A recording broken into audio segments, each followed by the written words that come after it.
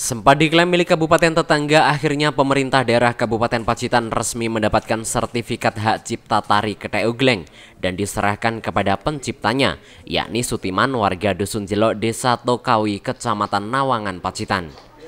Bupati Pacitan Indar Tato menyerahkan langsung sertifikat hak paten kesenian tersebut yang dikeluarkan oleh Kementerian Hukum dan HAM Republik Indonesia.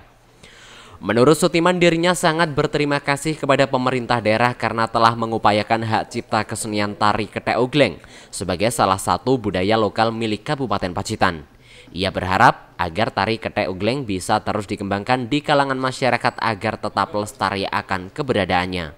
Harapan saya pertama senang, dua kalinya semoga bisa lestari, jangan sampai punah sampai turun maturun mananya tiruan dari kera langsung.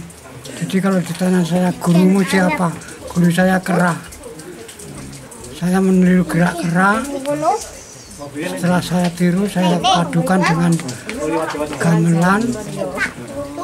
Menjadi seni di sela penyerahan sertifikat hak cipta tersebut, Bupati Indar Tato juga menyampaikan terkait pelestarian kesenian tari asli Kabupaten Pacitan ini.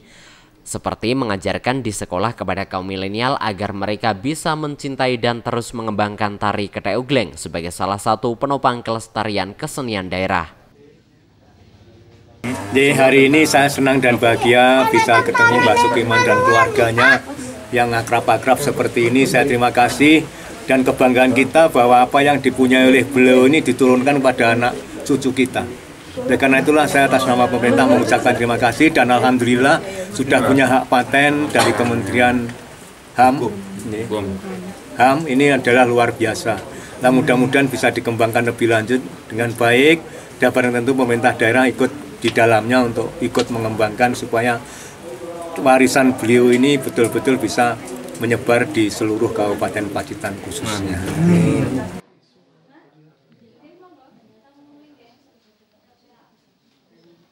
Perlu diketahui kesenian tari Kedai Ugleng yang diciptakan oleh Sutiman, warga Dusun Jelok Desa Tokawi, Kecamatan Nawangan, Pacitan sekitar tahun 1963 tersebut, sempat diklaim oleh Kabupaten Wonogiri, Jawa Tengah.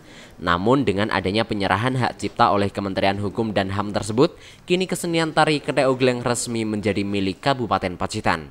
Edwin Aji, CTV Pacitan.